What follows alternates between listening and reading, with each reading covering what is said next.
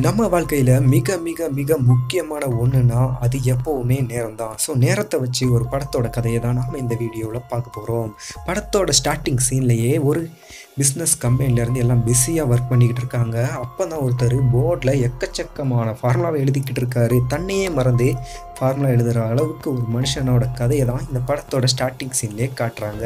அப்படி என்னத்தடா மறந்தாருன்னா அன்னைக்கு ஈவினிங் தான் அவரோட காதலியை மீட் பண்ணுறதுக்கான நாள். அதை கூட மறந்து வேலை பார்த்துக்கிட்டு இருந்தவரை ஞாபகப்படுத்தி அங்கேருந்து அனுப்பி வைக்கிறாங்க. ஸோ அன்னைக்கு போகிறப்ப கூட பல டெக்னாலஜி இம்ப்ரூவ்மெண்ட்டெல்லாம் பார்த்து மெய் மறந்து நின்று அதை பார்க்குறாரு. அதை தாண்டி அடுத்த சீனில் போக அவரோட காதலியை மீட் பண்ணிடுறாரு. காதலியை மீட் பண்ணி தனிமையில் பேசிக்கிட்டு இருக்காரு. தனிமையில் பேசிக்கிட்டு இருக்கும்போது ஒரு ரிங்கை ப்ரெசென்ட் பண்ணுறாரு அந்த ரிங் ப்ரெசன்ட் பண்ணதுக்கு அப்புறம் அங்கே ஒருத்தன் வந்து இவங்க ரெண்டு பேரோட அழகும் இவங்க ரெண்டு பேரும் ஜோடி சேர்ந்தா எப்படி இருக்குன்னு வர்ணித்து பேசிக்கிட்டு இருந்தவன் திடீர்னு கண்ணை எடுத்து மிரட்ட அவங்க கிட்ட இருந்த வேலெட்ல இருந்து எல்லாத்தையுமே எடுத்து கொடுக்காங்க. அப்போ தான் அவருங்க கையில் போட்டிருந்த அந்த ரிங்கையும் கேட்க அதை நான் கொடுக்க மாட்டேன்னு சொல்ல அந்த டைமில் அந்த கன்று எதிர்பாராத விதமாக அவங்கள ஷூட் பண்ண இறந்து போயிடுறாங்க. இதுதாங்க படத்தோட ஸ்டார்டிங் சீன்லேயே காட்டுறாங்க. அந்த சீனுக்கு அப்புறம் நாலு வருஷம் அந்த இந்தால அப்படியே போயிடுது நாலு வருஷத்துக்கு அப்புறம் தாடியை வளர்த்து ஒரு போர்டில் ஃபார்முலா எழுதினவர் வீட்டில் உள்ள பத்து போர்டில் ஃபார்முலா எழுதியிருக்காரு. அந்த அளவுக்கு ஃபார்முலாவை எழுதி எதுக்காக இவர் என்ன பண்ணுறாரு ஒன்றும் புரியாத மாதிரி அந்த ரூமுக்கு ஒருத்தன் வந்து கேள்வி கேட்கான். ஸோ அப்போ தான் நான் வந்து ஒரு புதிய கண்டுபிடிப்பு கண்டுபிடிச்சிருக்கேன். அதை நான் நாளைக்கு உங்களுக்கு அதை காட்டுறேன். அதுக்கு முன்னாடி இந்த படத்தோட கதையை நீங்கள் தெரிஞ்சுக்கிறதுக்கு முன்னாடி இந்த படத்தோட பேர் என்னென்னா the time machine the time மிஷினுக்கு த பர்ஃபெக்டான ஒரு மூவி தான் இந்த படம். ஃப்யூச்சர் பாஸ்ட் ப்ரெசன்ட்னு அவருக்கு தோணுற காலகட்டத்துக்கு ட்ராவல் பண்ணுற மாதிரி தான் அந்த மிஷினை டிசைன் பண்ணியிருக்காரு ஸோ கண்டிப்பாக இவருக்கு பாஸ்ட்டுக்கு போகலாம்ல ஸோ பாஸ்ட்டில் போய் அவரோட காதலியை காப்பாற்றிடலாம்னு கிளம்பி போகிறாரு எப்படி இருந்தாலும் ஒரு நிகழ்வு நடந்துருச்சுன்னா அந்த நிகழ்வை மாற்ற முடியாது அப்படிங்கிற ஒரு கருத்தை மையமாக தான் இந்த சீனை நமக்கு வெளிப்படுத்துது. எப்போதுமே ஒருத்தன் ஒன்றை இழந்தால் தான் இன்னொன்று பெற முடியும் அப்படிங்கிற கருத்தும் இதில் புரிய வைக்குது. என்னன்னா அந்த பாஸ்ட்டில் போய் காப்பாற்ற நினச்ச காதலியை தனிமையில் கூட்டிகிட்டு போனாலும் மறுபடியும் ஒரு மிஷின் இல்லை ஒரு வண்டி அவன் மேலே விழுந்து இறந்துடுறான். இந்த சோகம் தாங்க முடியாமல் மறுபடியும் ஃப்யூச்சருக்கு ட்ராவல் பண்ணுறாரு இந்த படத்தோட ஹீரோ ஸோ ஃப்யூச்சரில் ட்ராவல் பண்ணும்போது மொத்த வேர்ல்டுமே சேஞ்ச் ஆகுது. அரௌண்ட் த வேர்ல்டு அவரை சுற்றி உள்ள எல்லாமே சேஞ்ச் ஆகுது. அதில் ஒரு முக்கியமானது காஸ்டியூம் மக்களோட ஆடம்பர வாழ்க்கை மாற மாற அவங்களோட காஸ்டியூம் டிசைனும் மாறுங்கிற கருத்தையும் அங்கே முன்வைக்கிறாங்க. அப்போ அந்த கையில் இருந்த டாலரும் மிஸ் ஆகி வெளியில் போய் விழுந்துருது. ஸோ இவர் போய் ரீச் ஆகிற வருடம் எந்த வருடம்? ரெண்டாயிரத்தி முப்பது மே இருபத்தி நாலில் உலகம் எப்படி இருக்கும் அப்படிங்கிறத ட்ராவல் பண்ணி அங்கே போய் பார்க்க உலகத்தில் உள்ள எல்லாருமே சைக்கிளை விரும்பி ஓட்டுற மாதிரி சீன் காட்டுறாங்க. பட் அங்கே இருக்கிற எல்லாருமே உலகத்தில் உள்ள எல்லாருமே ஸ்பீடாக இருக்காங்க. ஸோ உலகம் மிகவும் ஃபாஸ்ட்டான ஒரு கேஜெட் யுகமாக மாறிடுச்சு அப்படிங்கிற சீனை காட்டுறாங்க.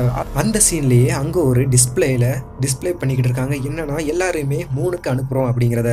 அதை பார்த்துட்டு இவர் ஒரு ஆடிட்டோரியத்துக்குள்ளே வர அங்கே ஒரு ப்ரொஜெக்டர் எப்படி நமக்கு ஒரு வாலில் டிஸ்பிளே ஆனால் எப்படி இருக்குமோ அது மாதிரி ஒரு கிளாஸில் ஒரு ஹியூமன் டிஸ்பிளே ஆகுது. அவங்ககிட்ட மொத்த அறிவியல் திறமைகளும் எல்லாமே அதுக்குள்ளே சேவ் பண்ணியிருக்காங்க ஸ்டோர் பண்ணியிருக்காங்க. ஸோ அதெல்லாம் பார்த்துட்டு அப்படியே ரெண்டாயிரத்தி முப்பத்தேழு ஃபியூச்சர் ட்ராவல் பண்ணி போக அங்கே போனதுமே ரெண்டாயிரத்தி முப்பதில் அனுப்பின மாசில் மனுஷங்க வாழ முடியும்னு சொன்ன இடத்துல இருந்து ஒரு பீஸ் உடஞ்சி வந்து இந்த இடத்துல விழுந்துருச்சு அப்படிங்கிறத சொல்கிறாங்க ஸோ உலகம் சேஞ்ச் ஆகிக்கிட்டே இருக்குது அடுத்த சீனில் சயின்டிஸ்ட் ஆயிரம் ரெண்டாயிரம் வருடங்களை கடந்து கிட்டத்தட்ட லட்சக்கணக்கான வருடங்கள் தாண்டி ட்ராவல் பண்ணுறாரு எட்டு லட்சம் வருடங்கள் கடந்து ஒரு இடத்துல ட்ராவல் பண்ணி போகிறாரு அதுவும் நம்ம பூமி தான் பல யுகங்கள் தாண்டி கடந்த மாதிரி மனிதர்களோட தலைமுறைகள் எல்லாம் அழிந்து மறுபடியும் மனிதர்களோட தலைமுறைகள் புதிதாக ஹியூமன் உருவானாங்க அப்படிங்கிற கதையை கான்செப்டாக கொண்டு கதை நகருது.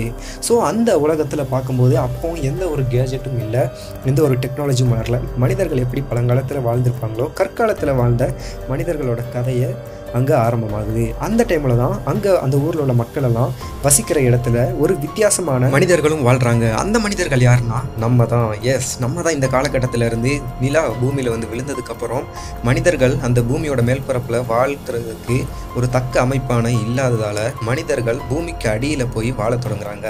அவங்க தான் பல ஆண்டுகள் கடந்து லட்சக்கணக்கான ஆண்டுகள் கடந்தும் அந்த மனிதர்களோட இனம் அழியாமல் பூமிக்கு அடியில் வாழும் ஒரு நிலைமையாக மாறுது.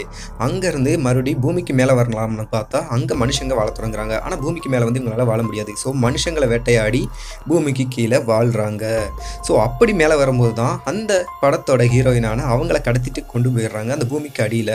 ஸோ அங்கே அதை தேடி கண்டுபிடிக்க போகிறாரு படத்தோட ஹீரோ. அதுக்காக அந்த காலங்காலமாக ஒரு கிராஃபிக் யூசர் இன்டர்ஃபேஸில் மனுஷங்களோட கம்யூனிகேட் பண்ணிக்கிட்டு இருந்தார்ல அந்த ஆடிட்டோரியத்தில் அவர் உதவியோட அந்த இடத்த கண்டுபிடிச்சி அதுக்குள்ளே போகிறாங்க அங்கே போனதுமே நம்ம தான் இவங்களாம். நம்ம தான் எட்டு லட்சம் ஆண்டுகளுக்கு அப்புறம் இப்படி வாழ்கிறோமா அப்படின்னு நம்மளை யோசிக்கிற அளவுக்கு அந்த மனுஷங்க இருக்காங்க. மனுஷங்க உடம்பு முழுவதும் சூரிய ஒளி படாமல் அந்த சூரிய ஒளியை பட்டாலே அதுக்கப்புறம் வாழ முடியாது அப்படிங்கிற கண்டிஷனுக்கு மாற்றப்படுறாங்க. எக்ஸாக்ட்லி சொல்லணும்னா ஒரு மனிதன் ப்ளஸ் ஒரு மிருகம். அந்த கண்டிஷனுக்கு மாறிடுறாங்க. அப்போ தான் அங்கே இருந்த அந்த மனுஷன் மனிதர்களோட மூளையை ரீட் பண்ணுற அளவுக்கு ஒரு மைண்ட் கெப்பாசிட்டி உள்ள மனுஷனாக இருக்கான். அவன் உண்மையை சொல்கிறான் நீ வந்து உன்னை இழந்தாதான் உன்னை பெற முடியும் அப்படிங்கிற கருத்தை சொல்கிறான் என்னன்னா நீ வந்து உன்னோட ஃபேமிலியோட செட்டில் ஆகிருந்தா இந்த மிஷினை கண்டுபிடிச்சிருக்க மாட்டேன். நீ இங்கேயும் வந்திருக்க மாட்டேன்.